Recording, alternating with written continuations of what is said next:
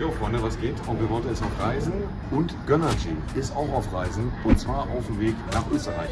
Ab heute gibt es Gönnergy bei Villa und ab dem 4.4. bei Winterspar. Limited Edition war Deutschland extrem schnell ausverkauft. An die Österreicher, gönnt euch die neuen Limited Editions, extrem köstlich, schmecklich. Saftig, knaftig und vergesst nicht, für eure Lieblingssorte abzustimmen. Den Code dazu findet ihr unter der Latte bei der Dose. G steht für Gönn, lasst euch schmecken. Grüße gehen raus an alle Österreicher. Wir haben an euch gedacht und was zurückgehalten. Kuss. Jetzt werden wir nach Köln fahren mit der neuen S-Klasse, Langstrecke testen. Ist fast eingefahren, fehlt nicht mehr viel. Und da muss ich ein bisschen am Equipment rumfummeln. Ich hoffe, euch geht's gut. Ihr habt schöne Ostertage gehabt. Ostermontag sollten viele von euch auch am Start sein. Wir fahren jetzt zur Baller League. Die Perspektive ist vielleicht nicht für euch die beste Perspektive. Wir haben Probleme, weil äh, dadurch, dass die S-Klasse viel niedriger ist und auch von der Höhe viel niedriger, ist das Stativ ein bisschen zu lang gewesen. Also ist jetzt auf jeden Fall nicht scheiße, ist ja klar aber ist auch nicht zufriedenstellend. Plus, wir haben eventuell, fällt einem das auf, wir haben auch eine neue Kamera. Ich hoffe, die Qualität gefällt euch von, von der Leistungssteigerung. Also es ist jetzt auf jeden Fall eine sehr hochauflösende ja, äh, Kamera in viel, viel besserer Qualität. Ja, warum fährt Onkel Monte jetzt doch mit der S-Klasse Langstrecke, obwohl er gesagt hat, er will die S-Klasse nicht für Langstrecke fahren, nimmt den GLS? Die Antwort ist relativ simpel für die Klicks, Digga. Ganz simpel für die Klicks. Nee, Spaß beiseite. Ich muss ja trotzdem auch mal testen, wie die S-Klasse auf Langstrecke performt. So ist es ja nicht, ne? Ich werde es ja nie herausfinden, äh, wenn ich äh, ja, keine Langstrecke fahre, ist ja klar. So, erstmal ganz kurz das Snack. Jetzt gibt's ASMR, Digga. Ich hau mir ein richtig, ein richtig dickes Ding in, in den Mundwinkel rein. Ah, das Navi sagt 48 Minuten Stau jetzt. Perfekt. Da habe ich ja richtig Bock drauf, Digga. Oh, jetzt 51 Minuten Stau. Ich habe gedacht, auf, Mo auf Montag, Ostermontag ist der Verkehr schön entspannt, Alter. Bis jetzt erstes Fazit zum S63 E-Performance. Ist ein sehr, sehr, sehr, sehr schönes Auto. Gefällt mir wirklich unfassbar gut. Gibt natürlich auch ein paar Kleinigkeiten, die ich jetzt kritisieren könnte. Der Wagen lässt sich wirklich unfassbar angenehm fahren. Der Wagen macht richtig Spaß auf der Straße. Er ist noch nicht ganz eingefahren. Man soll ja laut Hersteller 1500 Kilometer einfahren. Ja, da brate ich mir ein iPhone. Bin jetzt so 1200 Kilometer ungefähr gefahren. Der ist jetzt einsatzbereit und äh, kann auch gefahren werden. Ich habe mir sowieso gedacht, das macht ja gar keinen Sinn. Wenn die zu mir sagen, ich soll 1500 Kilometer einfahren, was ist denn, was, wenn ich davon 500 Kilometer oder 600 Kilometer fast nur mache mit dem Elektromotor und nur in der 50er-Zone rumjuckel? Das macht ja eigentlich auch gar keinen Sinn. Bro, hier steht jetzt wirklich 62 Minuten Stau. Oh Gott, was ist denn jetzt, Digga? Das kann doch nicht sein. 5 Minuten Stau direkt hier. Und 61 Minuten Stau, Digga, das ist, glaube ich, Rekord. Ja, ansonsten, was ist passiert? In der Zeit, wo Onkel Monte nicht da war. Mickey hört auf zu streamen. Habe ich gestern mitbekommen, dass Mickey verkündet hat, dass er aufhören möchte zu streamen. Ja, was äh, soll ich euch da groß zu sagen? Also am Ende ist es ja eine Entscheidung, die Mickey zu treffen hat. Wird wahrscheinlich eine Entscheidung gewesen sein, die er relativ spontan getroffen hat. Denn wie wir alle mittlerweile wissen, gab es da Gespräche mit gefühlt fast jedem Streamer, der ein bisschen was zu melden hat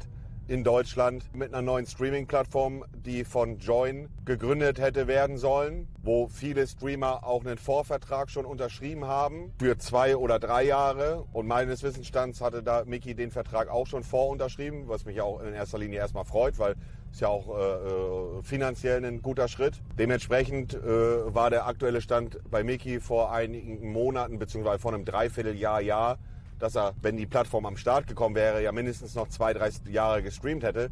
Deswegen denke ich, ist es eher eine spontane, nicht spontane, aber eine vor kurzem getroffene Entscheidung seinerseits und kann natürlich auch sein, beziehungsweise wird dann ja sein, dass er sich vielleicht auch denkt, okay, ich setze den Fokus jetzt erstmal auf die Familie, ich setze den Fokus jetzt vielleicht auch in selber Familie gründen. Da wünscht man ihm nur das Beste, wenn es eine Entscheidung ist, die ihn glücklich macht dann äh, soll er die Entscheidung umsetzen. DigiJoin und The Zone, beides Wucher. Also ich rede da jetzt Klartext drüber, ist mir auch scheißegal. Join wollte eine Streaming-Plattform gründen, wo sie alle Top-Streamer aus Deutschland streamen lässt. Da war jeder im Gespräch, der irgendwie ein bisschen was zu melden hatte. Viele waren von diesem Projekt extremst gehypt. Vermutlich auch, weil Join gut bezahlt hat oder gut bezahlt hätte. Viele waren extremst gehypt, weil sie den Vertrag ihres Lebens bekommen hätten und Geld verdient hätten, wie sie zuvor noch nie verdient haben. Ich persönlich will mich jetzt nicht als etwas Besseres darstellen, aber ich persönlich äh, fand das ganze Projekt von Anfang an äh, ein wenig suspekt. Unter anderem, ich äh, plaudere jetzt einfach auf dem Nähkästchen, ist mir jetzt auch scheißegal, Digga. Unter anderem beispielsweise, weil die Plattform aufbauend darauf funktionieren sollte, dass nur die Leute, die den Vertrag am Anfang bekommen, auf dieser Plattform hätten streamen können. Das heißt, ihr da draußen hättet euch beim Launch der Kampagne zwar anmelden können und einen Account zum Kommentieren, hättet aber nicht die Möglichkeit gehabt, eventuell auch selber zu streamen auf einer neuen Plattform. Das fand ich schon mal unfassbar scheiße, Digga. Dann auch der Name, ich weiß gar nicht, wie sie das Ding nennen wollten. Auf jeden Fall irgendwie Join Livestream oder auch wirklich ein kompletter Mäustimeyer Name für mich. Persönlich fand ich den Namen sehr unspektakulär. Und dann waren da noch andere Dinge. Ich will, will jetzt keine Vertragsinhalte ausplaudern, aber ich will mal so sagen, ich äh, werde auch nicht verstehen, warum viele Leute diesen Vorvertrag unterschrieben haben. In diesem Vertrag standen ganz viele Punkte drinne, die ich als Streamer zu erfüllen habe, aber es standen ganz wenig Punkte drinne, was denn die Plattform Join zu erfüllen hat, wenn die Plattform ausfällt beispielsweise, nicht funktioniert etc. Also da stand, sobald man als Streamer irgendwie mal zwei Wochen, drei Wochen krankheitsmäßig ausfällt, dann wird dir das gekürzt, dann wird dir das gekürzt, dann gibt's keine Zahlung hier, keine Zahlung da, als Beispiel jetzt. Aber da stand in keinem Punkt drinne, ja, was ist denn eigentlich, wenn die Plattform Join mal für eine Woche oder zwei ausfällt, weil keine Ahnung, die werden gedidost oder die werden gehackt oder und das war schon auch etwas, was äh, mir sauer aufgestoßen hat und was ich nicht so gefühlt hätte, sagen wir es mal so. Da gab es dann in äh, gewisser Art und Weise ein bisschen Diskrepanzen und ja, es ist wie es ist. Ich hätte sehr gerne beobachtet, wie sich das entwickelt hätte. Also ich hätte bei Join nicht unterschrieben, sage ich euch ehrlich. Das Angebot, was ich bekommen habe, war ein, ein höherer siebenstelliger Millionenbetrag. In der Vorverhandlung, ob es dann am Ende stattgefunden hätte, sei mal dahingestellt. Natürlich hört sich das erstmal lukrativ an, aber ich sage euch ehrlich, wenn eine Plattform kommt, die mich von Twitch für einen Dreijahresvertrag im Übrigen, Chat, drei Jahre, ne? Also drei Jahre wäre dieser Vertrag gewesen. Eine andere Plattform könnte mich nur von Twitch wegholen, wenn ich das Gefühl habe, dass sie gleich gut ist, das Potenzial hat, gleich gut oder noch besser zu werden. Und das muss ich ehrlicherweise sagen, dieses Gefühl hat Join leider bei mir nicht ausgelöst. Deswegen hat das Ganze meinerseits nicht stattgefunden. Ich glaube, ihr stimmt mir zu, wenn ich sage, dass es sehr interessant gewesen wäre aus unternehmerischer Sicht. Und ich bin ja als Streamer, als, als Streamer bin ich ja auch ein Unternehmer und ich hätte gerne aus unternehmerischer Sicht gesehen, wie zwei Unternehmen, Twitch und Join, sich konkurrieren, beziehungsweise wie Join sich geschlagen hätte oder halt auch nicht. Das hätte ich schon sehr gerne beobachtet und gerne verfolgt aber es wird halt nicht stattfinden. Also der Start von Join war, oh, lass mich mal kurz überlegen. Wann sollte Join starten? Ich glaube, Join sollte Anfang, Mitte letzten Jahres starten. Ein Jahr später ist es immer noch nicht gestartet. Und äh, ich gehe ganz stark davon aus, dass das Projekt auch auf Eis gelegt worden ist und da nichts mehr passieren wird. Viele der Streaming-Kollegen haben schon die Dollarzeichen in den Augen gehabt und haben gedacht, sie machen den Deal ihres Lebens, was ihnen ja vom Herzen auch gegönnt sei. Aber äh, das ist dann nichts geworden. Was sagst du zur Live-Tour von Bushido? Zur Live-Tour von Bushido? Bro, was soll ich dazu sagen? Ich verfolge Bushido weder auf Social Media noch auf seiner Live-Tour. Ich werde immer fair sein und sagen, dass ich Bushido musikalisch bis heute feier und er meiner absoluten Favorite Deutsch-Rap-Artist, Künstler ist. Gerade die alten Dinger von Bushido werden bei mir in meiner Playlist immer hoch und runter laufen. Aber ich persönlich kann nur sagen, rein menschlich, es wäre besser gewesen aus meiner Wahrnehmung, und das wird er vielleicht auch über mich sagen, und das ist auch vollkommen okay, rein menschlich wäre es besser gewesen, hätte ich einfach nie Bushido als Person kennengelernt, sondern hätte ihn immer als Held meiner Jugend in der Musik gesehen. Aber das menschliche Kennenlernen hat leider da ein bisschen die Fassade bröckeln lassen, muss ich da ehrlicherweise sagen. Aber kein böses Blut ist halt einfach jemand, mit dem ich jetzt nicht unbedingt noch in Zukunft weiterhin cool sein muss. Privat, persönlich, whatever. Ich wünsche ihm nur das Beste, viel Gesundheit seiner Familie denke, das ist eine erwachsene Einstellung. Ich werde immer weiter seine Musik feiern und auch mich immer wieder freuen, wenn ein neuer Bushido-Track rauskommt, bin ich ehrlich. Äh, aber so das Kennenlernen, Menschliche hat irgendwie nicht so gepasst. Moment, ich habe extra freigeschaltet. Hey Mercedes, was kannst du mir über Montana Black erzählen? Hier ist, was ich auf Wikipedia gefunden habe. Montana Black ist ein deutsch-türkischer Webvideoproduzent und Livestreamer, der sich in seinen Auftritten hauptsächlich mit Videospielen, wie zum Beispiel Call of Duty, Ja. FIFA und Fortnite beschäftigt. Okay. Seine Videos veröffentlicht er mehrmals pro Woche auf YouTube und überträgt über das Livestreaming-Videoportal Twitch seine Livestreams. Seit 2018 ist er der größte deutschsprachige Gaming-Livestreamer auf Twitch. Hey Mercedes, was kannst du mir über Jens Knossalla erzählen? Jens Heinz Richard Knossi Knosseler ist ein deutscher Entertainer. Er wurde durch seine Teilnahme an verschiedenen Fernsehformaten sowie als Pokerkommentator, Moderator, Livestreamer und Parthörschlagersänger bekannt. Er bezeichnet sich selbst als König des Internets und tritt für gewöhnlich mit Krone auf. Ja. Hey Mercedes, was kannst du mir über André Krieger erzählen? Kommender Krieger ist ein deutscher Webvideoproduzent und Gaming-Kommentator, dessen Videos meistens Inhalte aus diversen Videospielen beinhalten. Das Spielgeschehen wird dabei entweder zeitgleich vom Spieler kommentiert oder aber erst im Nachhinein. Das ist alles, was ich dir dazu erzählen kann. Oh, das war aber ein bisschen wenig. Hey Mercedes, was kannst du mir über Michaela Schaffrath erzählen? Michaela Schaffrath ist eine deutsche Schauspielerin, Synchronsprecherin und Moderatorin. Was? Von 1997 bis 2000 war sie unter dem Pseudonym Gina Wild als Pornodarstellerin tätig. Mal überlegt, den Lamborghini gegen einen Ferrari zu tauschen? Ein Fett-Tribut würde dir gut stehen. Nee, das habe ich in der Tat nicht. Äh, und ich erkläre dir auch warum, weil anders gesagt, hätte ich mehr Platz in meiner Garage und eine Doppelgarage, die direkt ins Haus geht, ist schon unfassbarer Luxus. Aber hätte ich mehr Platz in meiner Garage, dann könnte man drüber nachdenken, eventuell sich auch noch ein Ferrari beispielsweise zu kaufen, Schrägstrich Leasingkauf zu tätigen, als Beispiel jetzt. Aber persönlich habe ich eine emotionale Bindung zum Lamborghini. Der Lamborghini ist ein Auto, wo ich bis heute unfassbar dankbar für bin. Der Lamborghini erinnert mich an eine Zeit, die unvergessen ist. Eine Zeit, wo ich unfassbar erfolgreich war. Nicht, dass ich jetzt unerfolgreich bin, aber der Lamborghini erinnert mich einfach an einen Meil- Meilenstein in meiner Karriere, in der Fortnite-Zeit. Äh, Der Lamborghini ist für mich äh, wie ein, ein stummer Bruder. Und ich könnte mir nicht vorstellen, den Lamborghini abzugeben. Ich liebe das Auto unfassbar und äh, ist irgendwie auch ein Markenzeichen meinerseits. Und deswegen ist die Antwort nein, ich würde mein Lamborghini niemals gegen ein neues Auto tauschen, egal ob ein Ferrari oder ähnliches. Selbst wenn das vielleicht mir optisch besser gefällt. Das Einzige, was in Frage kommen würde, wäre, wenn der Lamborghini einen extremen Wertzuwachs hat. Ich habe ihn gekauft für 280.000. Das letzte Mal, als ich gefragt habe, kann auch sein, dass es gefallen ist. Das letzte Mal, als ich gefragt habe, war der Lamborghini 330.000 ungefähr wert. Das ist der letzte V10 aus der Generation. Wenn der jetzt irgendwann in,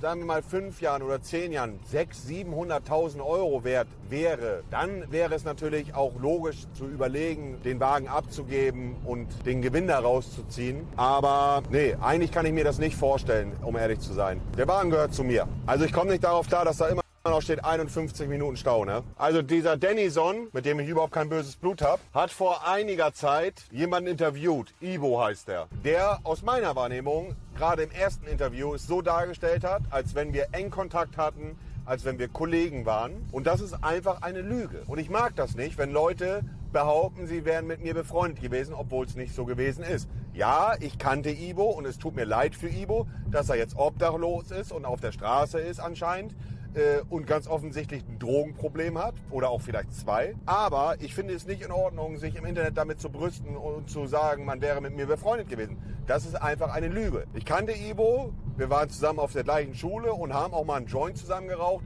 und das war's. Ich hatte weder seine Handynummer noch habe ich mich ein einziges Mal im Leben mit dem privat getroffen. Man hat sich während der Schulzeit mal gesehen, mal zusammen einen geraucht, auch mal ein bisschen gelabert, aber es war kein Freund. Und äh, ich mag das nicht, wenn im Internet Unwahrheiten verbreitet werden und dann werde ich da die ganze Zeit unter den Videos markiert. Jo, Monte, helft doch da mal den alten Kollegen. Nee, Bro, das ist kein alter Kollege. Soll ich euch was sagen? Das letzte Mal, als ich Ibo gesehen habe, war das vorm Dönerladen und er hat im Dönerladen versucht, irgendwelche geklauten Kugelschreiber zu verkaufen, die pro Stück 200, 300 Euro gekostet haben. Und da war ich sogar noch korrekt, weil die Leute, denen er das angeboten hat, wollten das nicht, war ich sogar noch so korrekt und habe zu Ibo gesagt, komm Ibo, gib her die Dinger, ich, ich weiß nicht, was er für einen haben wollte, 40 Euro oder so. Da habe ich ihm noch 40 Euro für diese komischen Kugelschreiber gegeben und habe die dann Oma und Opa geschenkt. Aber im Internet zu sagen, man wäre mit mir befreundet gewesen, obwohl es einfach nicht so war, mag ich nicht. Und deswegen will ich da jetzt einfach auch noch mal endlich was zu sagen. Und selbst wenn, also wenn wir da das Thema noch mal aufmachen, selbst wenn ich mit Menschen von damals befreundet war, die heute auf der Straße sind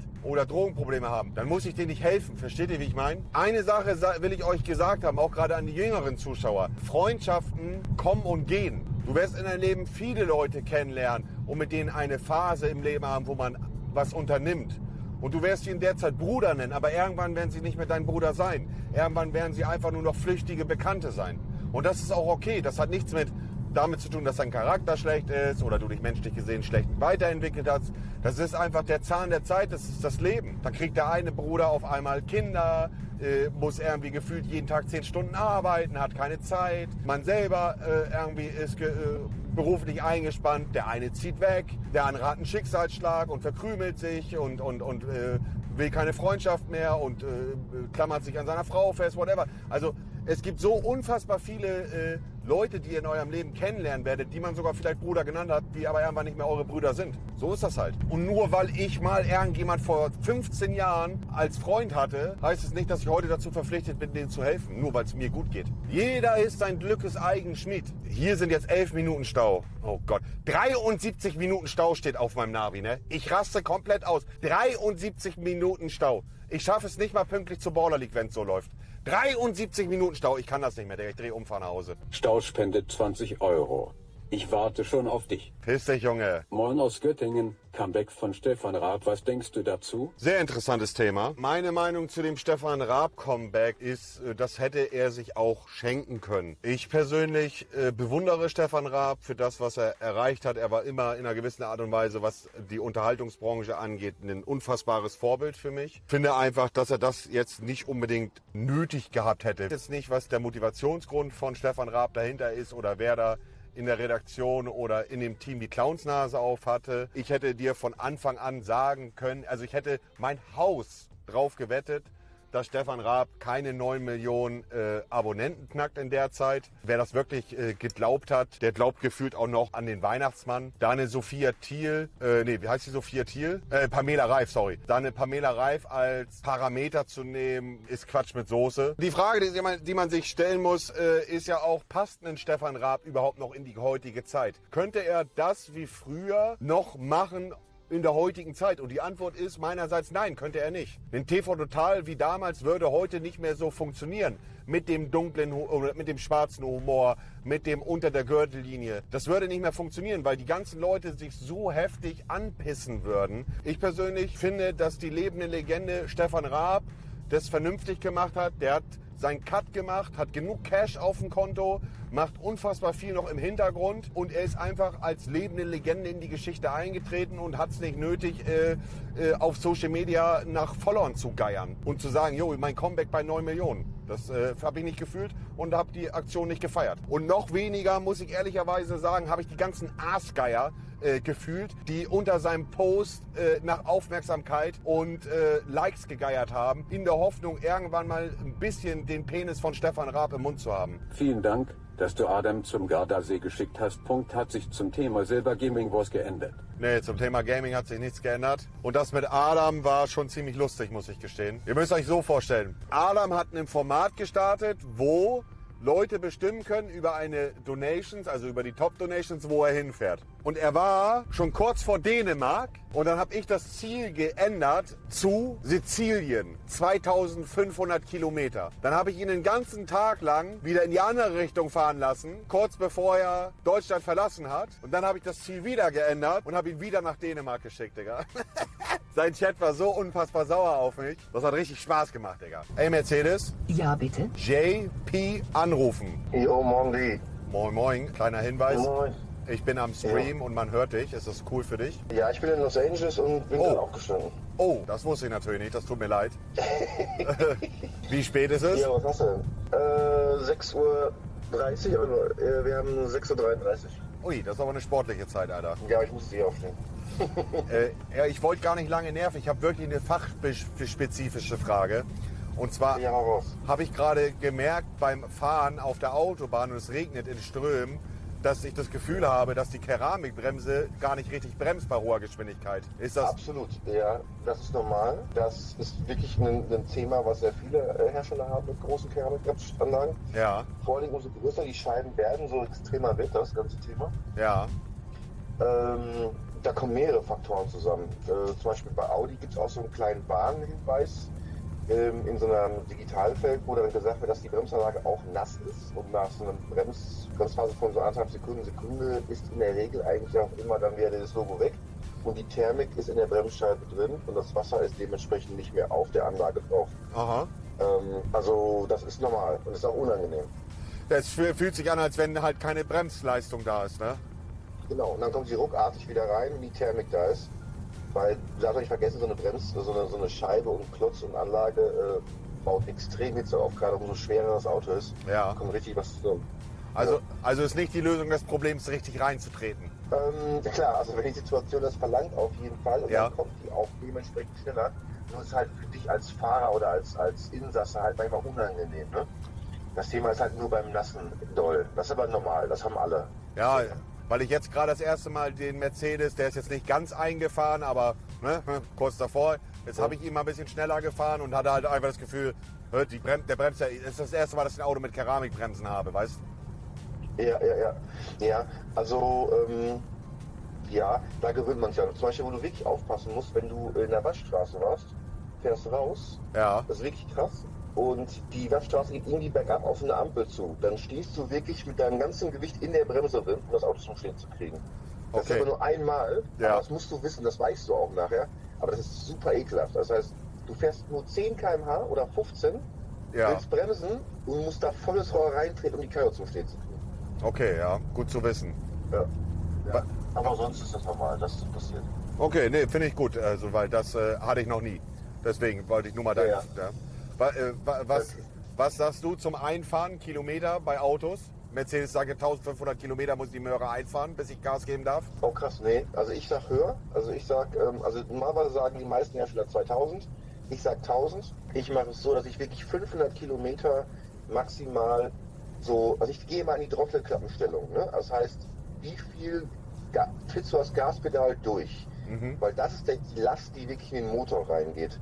Wenn du jetzt aber wirklich mit ganz viel Gefühl die erst, also andersrum, Radlager, Getriebe, Gangräder, auch das muss eingefahren werden. Die meisten denken immer nur an den Motor. Ja. Die ersten 300, 400 Kilometer das Auto vollkommen in Ruhe lassen. Also wirklich ganz, Ja. ganz, ganz sanft fahren. Dann so ab 500 Kilometer sage ich schon so 20, 25 Prozent Drosselklappe, also so ein Viertel Gaspedal treten. Und wenn du mit dieser Fußstellung deine 200 schaffst, dann schaffst du damit deine 200. Okay. Aber die, weil die Getriebe sind so hoch übersetzt, dass die äh, Motordrehzahl eh nicht über 3000 geht. Ne? Schaffst du ja total bestimmt. Schaffst du 3000 km/h und 200 km/h? Also 3000 Umdrehungen und 200 km/h schaffst du, oder? Ja. Denke ich auch. So, und dann, dann kannst du damit durch die Gegend rollen und dann so ab 700 Kilometer kannst du so Hälfte Gas geben, ähm, aber halt auch nichts Ruckartiges. Und dann ab 1000 gebe ich dann alles, wenn er warm ist. Okay, ja, das hört sich, das hört sich sinnig an. Das äh, habe ich auch so gehandhabt, ab 1000. Ja, genau, ab 1000 kannst du dann da schon reinlatschen. Okay, alles klar. Dann will, Okay. ich, will ich nicht weiter stören. Danke, dass du dir Zeit genommen hast und ich wünsche dir einen schönen Aufenthalt in äh, Los Angeles, Digga. Okay, dir Mach's gut. Spaß. Danke dir. Ciao, ciao. Ja, immer, immer ein Segen, mit JP zu telefonieren. Das ist, äh, für mich ist das so, wenn ich mit JP telefoniere, ist es so, als wenn ich einen trockenen Schwamm in ein Glas Wasser lege. Und äh, der Schwamm saugt so viel Wasser auf. Und das ist, wenn ich mit ihm telefoniere. Mein Gehirn saugt so viel Information, so viel interessante Informationen auf, immer an den Genuss mit JP zu telefonieren, ehrlich. Ey, Chad, ich habe ja noch eine ultra krasse Ankündigung, Digga. Ich hab's ganz vergessen, Alter. Lauschet eure Ohren, denn ich habe frohe Botschaft zu verkünden. In den nächsten zwei bis drei Wochen, je nachdem, wie lange der Versand und das Organisieren der Location in Anspruch nimmt, werde ich einen unfassbar geilen IRL-Stream machen. Aber nicht den klassischen IRL-Stream rumlaufen und in der Nase popeln, sondern ich und mein treuer Weggefährte Master Exe haben an die 25 Koffer ersteigert bei der Kofferauktion für verlorene Gepäckstücke vom Flughafen.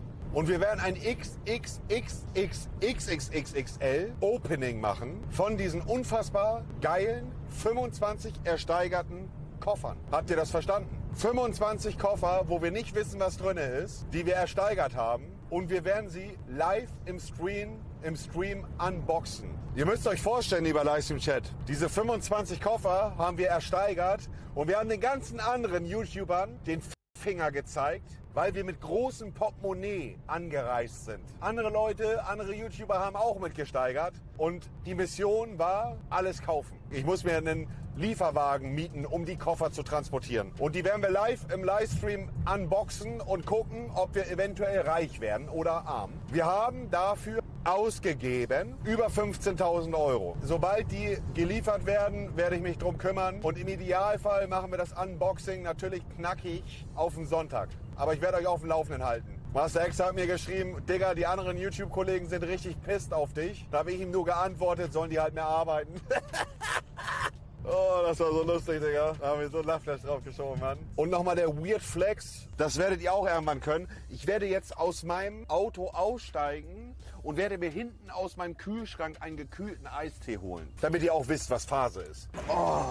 Beinert geht das ab hier. Nochmal ein kleiner Real Talk zum Thema Leo, okay? Das, was für einige da draußen vielleicht komisch rüberkommt oder sie nicht ganz verstehen, wieso, weshalb, warum. Ich will auch nicht zu privat reingehen. Aber Leo hat mir von sich aus erzählt, dass er auch mal nicht gute Phasen im Leben hat. Mehr sage ich dazu nicht. Ihr wisst, ich wollte immer einen Bruder haben, den ich nicht hatte. Nichts gegen meine beiden Geschwister, aber ich habe mir immer einen Bruder gewünscht. Und ich habe sowieso ein Herz für Kinder. Und Leo war einfach so ein intelligentes, so ein bodenständiges Kerlchen von Anfang an, dass ich ihn halt einfach direkt ins Herz geschlossen habe. Dadurch, nur dass ich, es ist ja kein Mehraufwand für mich, nur dadurch, dass ich Leo erlaube, während der Baller League Spiele an meiner Seite in der Kabine von oben zu gucken, um mit mir rumzulaufen, habe ich, nur dadurch, dass ich das gemacht habe, ohne großen Aufwand, habe ich vor zwei Tagen, ich werde jetzt nicht so tief ins Detail gehen, aber vor zwei Tagen von Leo eine Sprachnachricht bekommen, wo er ungefähr gesagt hat, ich möchte nicht, dass die Baller League aufhört, ich bin ganz traurig. Montags habe ich mich immer in der Schule so gefreut, habe den ganzen Tag nur an Baller League gedacht.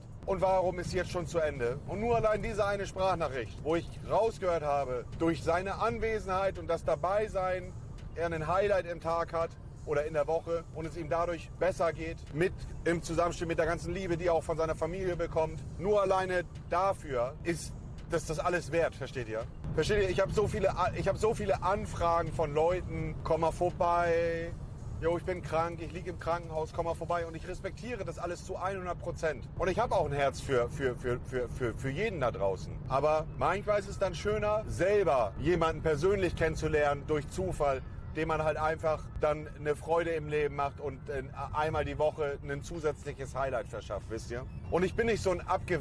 Äh, äh, äh, äh, Kopf, der vor der Kamera mit Leo, ah, bester Mann, High Five. Und wenn der mir dann mal in der Woche schreibt, und nochmal schreibt ihn Donowall. Klar ist es auch schon vorgekommen, dass Leo mir mal eine Sprachnachricht geschickt hat oder eine Nachricht, wo ich nicht drauf angebordet habe oder einen Tag später.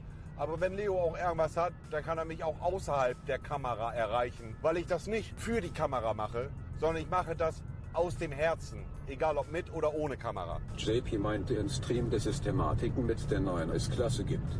Hast du schon negative Dinge abgesehen von Preis und Display entdeckt? Ich glaube, der einzige wirkliche negative Aspekt, den ich bis jetzt in der S-Klasse habe, ist das Display. Und damit meine ich nicht die Optik des Displays, sondern dass das Display und die, und die Grafiken zum Teil extrem laggy sind. Also als Beispiel, ich habe jetzt zur Osterzeit hier Grafiken mit Ostereiern. Und wenn ich den Wagen starte, überall ganz viele bunte Ostereier rum, was ja ein nettes Gimmick ist. Das Problem ist bloß, dass es komplett am Lecken ist. In 2 FPS. Und sobald ich das Navigationssystem angeschaltet habe und die äh, Ampelkamera und ähnliches sich einschaltet und hier aufploppt und äh, das Navigationssystem im Hintergrund zu sehen ist, leckt alles in 2 FPS. Und das kann einfach nicht sein. Und da werde ich auch äh, nochmal separat irgendwann eine Instagram-Story machen oder äh, äh, mal ein Video an Mercedes schicken, weil das kann einfach nicht sein, dass in einem 200, knapp 300.000 Euro Auto das Display in 10 FPS läuft. Das ist einfach eine Frechheit. Das muss ich ganz klar so sagen. das ist wirklich eine Frechheit. Mein Handy für 1600 Euro läuft flüssiger. Und das darf einfach nicht sein. Das werde ich euch auch noch mal irgendwann noch mal zeigen. Also das, das, äh, das ist das Einzige, wo ich ehrlicherweise, und ich bin den Wagen jetzt ja noch nicht, äh, nicht mal 2000 Kilometer gefahren, das ist das Einzige, wo ich jetzt sagen muss, was ich negativ finde. Und eine Sache fällt mir noch ein, bei Comfort, bei Massagen. Ich kann zwar einstellen, welche Massage ich haben möchte und ich kann auch einstellen, welche Intensität die Massage hat, aber ich kann nicht einstellen, wie lange die Massage geht. Und ich verrate euch eins, wenn ich mir hier die Massage anmache, die gerade am Laufen ist, läuft eine durchschnittliche Massage 15 Minuten. Und du musst nach immer und immer 15 Minuten wieder die Massage neu anmachen. Aber Bro, lass mich doch einstellen, die Massage soll am Stück eine Stunde laufen oder eineinhalb Stunden. Das ist ein Langstreckenfahrzeug. Das kann doch nicht sein, dass eine Massage 15 Minuten geht und dann einfach ausgeht und ich sie wieder aktivieren muss. Gib mir doch die Option einzustellen, ich möchte gerne diese Massage jetzt für die nächste Stunde durchlaufen lassen. Das ist halt einfach etwas, was ich mir denke, guck mal, die Massage ist jetzt aus. Die lief 10 Minuten, Digga. Das ist halt einfach etwas, wo ich mir denke, bei einem Preis von 284.000 Euro kann es nicht sein, dass das Auto mir nicht die Option gibt, mir selber die Zeit einzustellen bei einer Massage. Stell dir mal vor, ich fahre vier Stunden Strecke und ich will die ganze Zeit massiert werden. Dann muss ich alle 15 Minuten, also viermal in der Stunde, zwölfmal in drei Stunden mir die Massage aktivieren. Und das ist einfach dumm. Das ist einfach dumm gemacht. Einen Punkt muss ich noch sagen, den ich persönlich nicht extrem schlimm finde, aber wo ich mir dann auch, und ich muss auf den Preis rumreiten, wo ich mir dann auch wieder denke, für das Geld hätte ich fast mehr erwartet. Und zwar die ambiente Beleuchtung. Ja, ich habe 15 verschiedene Programme, wie ich mir die Farben einstellen kann. Aber warum kann ich für das Geld nicht selber bestimmen, welche Farbe ich wo haben will? Ich habe hier ganz verschiedene unterschiedliche Bereiche. Sagen wir mal vier oder fünf Ebenen. Und ich kann nur diese vier oder fünf Ebenen einstellen farblich, wie Mercedes es programmiert hat. Warum kann ich nicht selber entscheiden, auf welcher Ebene ich welches Licht haben möchte? Ich meine, eine Philips Hue LED-Streifen für 100 Euro bietet mir mehr Optionen als die Innenraumbeleuchtung von Mercedes. Und das im Umkehrschluss wieder bei einem Auto, was an die 300.000 Euro kostet. Ist jetzt meckern auf hohem Niveau, ist klar. Hätte ich mir aber gewünscht, dass ich mir sage, ey, hier oben oder hier oben hätte ich nicht gerne Regenbogenfarben, sondern ich hätte gerne abwechselnd blau, rot, blau, rot. Und hier oben hätte ich gerne weiß. Geht aber nicht. Aber ansonsten sage ich euch ehrlich, ist dieses Auto so unfassbar komfortabel. Die Musikanlage ist, ist so ein Genuss und so eine geile Sache für jeden, der Musik mag. Das macht einfach, es macht einfach unfassbar viel Spaß. Warum will jetzt, ach so, ich muss hier runter, ja. Mein Fehler, ich bin rübergezogen, aber ich muss hier runter. Ja, alles gut. Ja, was machst du denn jetzt für Lichthuppe, Alter? Ich muss hier rüber, du Arschgeige. Ja, was ist denn los, du Arsch? GC-Kennzeichen, Gangbang in dein Gesicht, du Arschgeige, Alter. Da sitzt dann so ein, Rentner, so ein Rentnerpärchen da drin, er drückt mir die Hupe, aber hat nicht mal die Eier rüber zu gucken, um mir meinen Mittelfinger zu zeigen, dass ich auch mal zurück Mittelfinger zeigen kann. Der hupt, also er fährt da, weil er sauer auf mich ist, und dann fährt er so. An mir vorbei. Diggi, Halt doch wenigstens Blickkontakt. Was ist eigentlich mit dem RP? Kam weg von dir. Naja, ohne jetzt schlechte Stimmung machen zu wollen oder Beef oder äh, Fitner oder so. Ich sag euch das, äh, ihr wisst, ich bin immer ehrlich, okay? Rohat hat zu mir gesagt, ey Bruder, oder andersrum. Ich fange von vorne an. Ich habe zu Rohat gesagt, Rohat Bruder, ich habe richtig Bock wieder auf RP. Das war kurz vor der Minecraft-Zeit. Ja, Bruder, ich auch, aber gerade äh, Minecraft. Ich sag, okay, cool, kein Problem vielleicht danach. Dann hat Rohat mich ein paar Mal danach angerufen und hat gesagt, ja Mann, geil, Alter. RP, wir gehen zusammen rein, wir starten zusammen durch, Comeback, ich melde mich, ich kläre das. Da müssen einige Leute vom Server fliegen noch vorher, ich kläre das. Jetzt hat er alleine sein RP-Comeback gefeiert, Digga. Und hat sich nicht mehr gemeldet. Nicht böse gemeint, nur Liebe für Rohat im Herzen, ich wünsche nur das Beste, aber da habe ich dann gedacht, okay, dann scheiß drauf, Digga. Weißt du, dann, dann scheiß drauf so. Dann mache ich es irgendwann anderes Mal einfach. Habe ich nicht so gefühlt, um ehrlich zu sein. Er ist noch jung, ja klar, natürlich, Diggi, aber ich will da jetzt hier auf, auf dem Thema rumreiten oder so, ne? Aber guck mal, wenn du einen Homie, den du magst, der für sich selber noch gar nicht gesagt hat, okay, RP muss ich wieder machen. Zu ihm sagt, Sigi, lass wieder in RP rein, Digga. Unsere Zeit war bombastisch. Lass zusammen wieder unser RP-Comeback machen. Und derjenige sagt, ja, okay, machen wir. Ich kläre dann noch ein bisschen was. Da müssen noch ein paar Leute vom Server fliegen und so. Und du sagst, okay, kein Problem, machen wir so. Meld dich. Und er sagt, ja, okay, ich melde mich, ich kümmere mich und bla. Und dann auf einmal passiert das alles, aber halt alleine, ohne dass du mit eingebunden wärst, dann denkst du dir halt einfach, also als, als allererstes habe ich mir gedacht, so bin ich dann, habe ich mir gedacht, habe ich was verkehrt gemacht. habe ich mich nicht korrekt verhalten, aber eigentlich war alles okay, also ist alles okay. Aber dann denkst du dir halt einfach, okay, dann halt nicht so. Also, das ist so, als wenn du äh, mit einem Kumpel abmachst, ey Diggi, in drei Wochen gehen wir gemeinsam ins Stadion, feiern das voll ab, Alter, endlich wieder ins Stadion gehen und irgendwie ein geiles Spiel gucken, nur als doofes Beispiel. Und er sagt, ja Mann, ich bin am Start, ich melde mich, ich organisiere Tickets und du hörst nichts mehr von der Person. Und auf einmal siehst du an dem Tag, wo das Spiel stattfindet, dass er sich Tickets organisiert hat und mit einem anderen Kumpel zusammen ins Stadion gegangen ist. So fühlt sich das für mich an, Digga. Das ist ein Stich in den Rücken, sag ich ehrlich. Hab gehört, dass Black Ops 2 ein Remake rauskommen soll. Wirst du es spielen? Nee, habe ich nicht vor. Call of Duty hat so viele Remakes gemacht, so viele Sachen. Call of Duty Zeit ist vorbei, Bro. Dann bringen die ein Black Ops 2 äh, Remake raus, okay, cool. Dann machen sie Skill-Based Matchmaking rein. Ja, dann blast doch mein Digga, dann scheiß drauf. Vor allen Dingen ist ja halt auch einfach so, dass, ja, Black Ops 2 war unfassbar geil, Digga. Wir haben alle oder viele von uns haben eine unfassbar schöne Zeit in Black Ops 2 gehabt. Und selbst wenn sie jetzt eine Black Ops 2 Remake rausbringen würden, ohne Skill-Based Matchmaking, ohne den ganzen Scheiß, was uns äh, Kopfschmerzen bereitet, dann sind die Spieler einfach andere, anders geworden, Digga. Jeder hat einen Scuff, jeder benutzt gefühlt Gamer Grip, jeder hat das installiert, jeder hat das installiert. Das ist auch gar nicht böse gemeint, aber Zeiten verändern sich halt einfach. Und ich persönlich möchte vermutlich eher einen Black Ops 2 und einen Modern Warfare 2 oder einen Modern Warfare 3 in schöner Erinnerung in meinem Gedächtnis haben, als eine schöne Zeit, als auf Biegen und Brechen jetzt nochmal einen Remake raushauen, wo aber einfach dein Spielerlebnis und die Freude, die du an dem Spiel Position. hattest, die sein wird, wie in einem Remake jetzt, wo die Leute um das ihrer Mutter schwitzen. Der Plan ist wie folgt. Wir fahren jetzt hier noch ein bisschen durch die Hood. Keine Ahnung, warum ich hier längs fahre im Übrigen. Wir fahren hier ein bisschen durch die Hood oder halt auch nicht durch die Hood. Und da ich so unfassbar verspätet und verzögert vor Ort sein werde, also ich, ich werde pünktlich da sein, aber ich werde halt kurz Position gefunden. kurz vor knapp da sein, wird Alena äh, mit Leo den Stream schon aus der Kabine übernehmen. Seid lieb, seid nett. Ich werde 20, 25 Minuten später dann da sein. Dann könnt ihr mit Alena ein bisschen Hahi schnacken und äh, mit Leo ein bisschen Hahi schnacken. Oh, jetzt hier die Sonne scheint. Da kann der Onkel Monte mal seine schnelle Brille rausholen. Die hat er nämlich wiedergefunden. Ja. Salam alaikum. Wisst ihr, wo die Sonnenbrille war? Ich habe sie eine Woche gesucht. Ich habe sie eine Woche gesucht und habe gedacht, äh, dass ich sie verloren habe. Die war die ganze Zeit im Streaming-Rucksack drin, im Seitenfach, Digga. Die lag die ganze Zeit bei mir im Eingangsbereich äh, zu Hause. Und ich habe mir einfach eine neue bestellt. Jetzt habe ich zwei Brillen, Digga. Einfach 360 Euro für umsonst ausgegeben. Aber das ist ein Kla Classic Monte, das stimmt, ja. Ein klassischer Monte, hundertprozentig. Okay, alles klar. Äh, Livestream-Chat. Äh, wir machen jetzt einen Switch auf unfassbar spektakulär von der Autobahn direkt ins Baller League, äh, in die Baller League Zentrale. Da wird Alena, glaube ich, zusammen mit Leo euch noch ein bisschen, okay, wird euch zusammen äh, ein bisschen äh, einführen. Äh, seid alle ganz lieb und lasst ein bisschen Liebe da.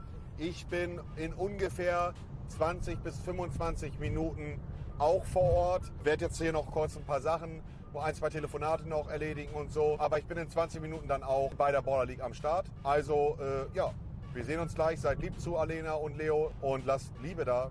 Hallo? Hallo? Hallo Leo, ja, hallo, hallo. Oha. Ähm, da, wir sehen ja Oha. gerade Marcel, äh, der im Stau stand. Oha. Äh, ich würde mal, äh, Marcel, Alena guckt wahrscheinlich Hunger? auch, äh, und hört äh, Grüße an Marcel.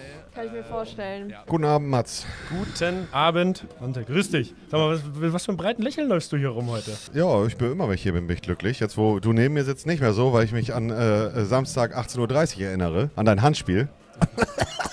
Möchtest du das wirklich ausdiskutieren? Nein, nein, nein, ich mache nur einen Spaß, Ich Alter. weiß, ich weiß. Ja, gut, dafür warst du beim Hinspiel im Stadion, ne? Ja. Da haben wir beide einmal was, beide einmal was mitgenommen, würde ich sagen. Le le leider ehrlicherweise bei so einem äh, also unspektakulären Spiel, was die Verteilung in der Tabelle angeht. Ja, das, ja ich glaube, es war für uns. Für euch für uns wichtiger als für uns, ja. Ne, muss man sagen, durch, Mhm. die, durch den späten Leverkusen-Sieg war da so ein bisschen wahrscheinlich Ja. die, die letzte Luft raus, ne? Nach, äh, ja, um nach oben, um nach oben nochmal anzugreifen. Es war einfach unterm Strich ein sehr ernüchterndes Spiel auch von Bayern. Auch- Oder ein sehr starkes Spiel von Dortmund. Ja, es war jetzt nicht sehr stark, ich finde, es war ein gutes Spiel von uns. Ja. Aber man muss schon sagen, dass logischerweise auch äh, also müssen wir jetzt auch nicht drum herum reden, dass natürlich Bayern die letzten Jahre dominanter und stärker irgendwie so meistens Das in dem, Tor. vor allem in dem direkten Duell Genau. war. Mhm. Genau, normalerweise haben wir auch innerhalb der ersten 10 Minuten irgendwie das 1-0 gefangen. Mhm. Diesmal habt ihr Äh, es umgedreht. Kann man nicht. Ja, st oh, stimmt, wir haben früh getroffen. Ja, wann hat Adeyemi getroffen? zehnte, Zehnte? Minute ungefähr. Ja. War auch ein schönes Tor. Ja, schöner Konter, Ja, ne? schön ja, ja, rausgespielt und dann läuft er halt auch natürlich seine entspannten 36 km/h. Damit kommt man dann echt öfter an die Bälle, muss ich sagen. Ich habe so ein kleines Flashback. Ich würde mir wünschen, das ist natürlich relativ unwahrscheinlich, weil noch extrem viele starke Gegner auch am Start sind. Aber ich habe so ein bisschen Hoffnung auf 2014, 13, wann war das? 2013 Revival, 2013, oder was? ja. Das ist halt wieder Champions, auch, ne? Champions League Finale Dortmund gegen Bayern. Ja, ist natürlich eine, muss man sagen, eine geile Idee. Gefällt mir schon gut. Ja, mir auch. Aus, aus vielen Gründen. Gefällt mir richtig gut. Aber jetzt realistische Einschätzung. Wie viel Prozent gibst du dem Duell? Unter 10% vermutlich, ja. Irgendeiner, entweder wird Bayern vorher rausfliegen oder Dortmund. Also es sind halt, wer ist noch am Start? Real Madrid ist noch am Äh, Start. Ja, genau. Also Bayern hat jetzt Arsenal, zwei Genau, Spiele genau, und dann richtig. den Sieger aus City Real. Ja. Und wir, also im theoretischen Fall, wir haben Atletico und dann hätten wir theoretisch den Sieger aus Barça gegen PSG. Also muss auf jeden Fall ein paar Bretter bohren, ne? Ja. Nichts ist unmöglich, ne? Nee, auf keinen Fall. Auf keinen Fall irgendwas unmöglich. Vor allem, man muss auch sagen, jetzt sind es auch nicht mehr viele Spiele, ne? Mhm. Wenn du das Viertelfinale überstehst, dann reicht so doof, es klingt halt irgendwo auch ein richtiger Sahnetag und auf einmal, Mhm. so wie war das damals, äh, Hinspiel Bayern, Bayern Barca 2013, 4-0 oder so, ne? Das war unfassbar schön, ja. Ja, wir haben Real 4-1 geschlagen 2013 und auf einmal stehst du so mit anderthalb Beinen im Finale. Also ausgesch müssen wir jetzt nicht drum reden, ne? Das Es war einer der schönsten, also natürlich ist es auch im Positiven für Bayern ausgegangen, aber es war einer meiner schönsten Spiele, die ich geguckt habe, das Champions League Es war, war ein geiles Fußballspiel. Und das Tor von Robben, wie er Also, sich durchgesneakt hat. Äh, können wir jetzt auch wieder drüber diskutieren, ne? Aber er macht's gut, er macht's gut, aber ah ja, das ganze Spiel war geil, muss ich sagen. Es war, ein, es war das intensivste Fußballspiel, Ja. was ich je miterlebt habe. War das so, oder was? Hm. Mit dem ganzen Drumherum, mit der Anspannung, dann auch mit der Atmosphäre und dann auch einfach Bayern zu der Zeit und wir. Das Mhm. waren ja zwei unglaublich intensive Mannschaften. Ne? Also es Mhm. war nur, jeder war durchgehend bei 100 Prozent. In jedem Zweikampf, in jedem Lauf. Äh, Es war, boah, Also- Ar- Arjen Robben ist 100 Mal tief hinter mich gelaufen. Ganz, fies, ganz fiese Taktik da. Es war Ich glaube, jeder, der Spiel. das damals live zugeschaut hat, unabhängig davon, wie es ausgegangen ist für die Dortmunder, ist wahrscheinlich eine richtig tiefe Narbe immer noch irgendwo. Oder eine tiefe Wunde, die ver verheilt ist. Auf jeden Fall. Du hast ja auch echt viel erlebt, wenn man überlegt, äh, bei der Weltmeisterschaft, äh, bei der Europameisterschaft warst du dabei, bei der Weltmeisterschaft. Ja. Zweite, wann war das, äh, wo wir ähm, äh, Die, 2000... Der Sieg meinst du jetzt? Ja. Zehn Jahre her, 2014. 2014, ja, ein genau, Jahr danach. Zehnjähriges dieses Jahr davon. Auch schon wieder Wahnsinn, dass das so lange Da warst du auch dabei. War ja auch dabei, ja. Du warst bei vielen dabei. Champions League Finale, EM zumindest Halbfinale, aber nur einmal leider. Beim zweiten war ich gesperrt. Aber schon viele, muss man sagen, waren schon ein paar große Matches äh, Mhm. mittlerweile dabei. Und jetzt am Samstag Weltklasseleistung gegen Dank- Bayern. Danke, ja. Ne? Gab viel Lob äh, von der Presse und von den Ja. Sportexperten, ne? Gab, gab wirklich viel Lob. Ja, das ja. auch, so, ist schön. Ne? Nimmt, nimmt man natürlich gerne mit. Wir müssen nicht drum herum reden. Das geht runter ja, wie Butter. Genau. Ja. Gibt auch die anderen Tage, wo es nicht gut läuft. Da kriegt man dann auch vielleicht auch mal zurecht auf Einen die auf den Mütze. Deckel, ja, ja. Ja. Okay, Gönnergy läuft weiter. Ich glaube, wir switchen wieder rüber. Oh ja, ich muss, äh, ich muss zu joinen, glaube ich, ne? Mach's gut, Mats. Ciao. In dem Sinne, kurz auf die Nuss, sagt auch Tschüss. Ciao, ciao. Ciao, danke, Bela. Ciao, ciao.